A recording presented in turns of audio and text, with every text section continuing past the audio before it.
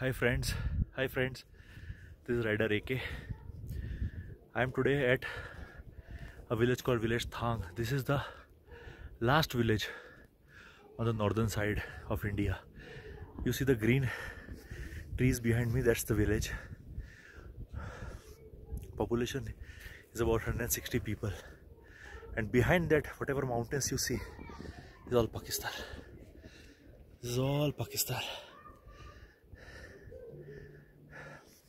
There is a small river down called river Shyok that goes from India further joins Indus river and then goes to Pakistan. We started our journey from Leh came up to uh, Khardungla. We met a lot of riders on the way the Sikh boys the Tusker boys from Bangalore. They all came down to Nubra Valley but turned back. But I continued my journey to this village Thang, which is the last village of India. Thereafter, it's all Pakistan.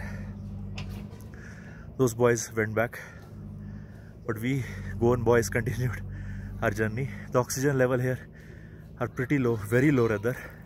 Temperatures are again low. The only thing high here is the Josh. That's what is keeping us going on. I'm sure a lot of people have done Khardungla at the Maznubra Valley, but only a few people have made this to this village called Thang. Do come here. It's an honor to see. Once you come here, you will be able to see a lot of Indian Army bunkers and the Pakistani bunkers.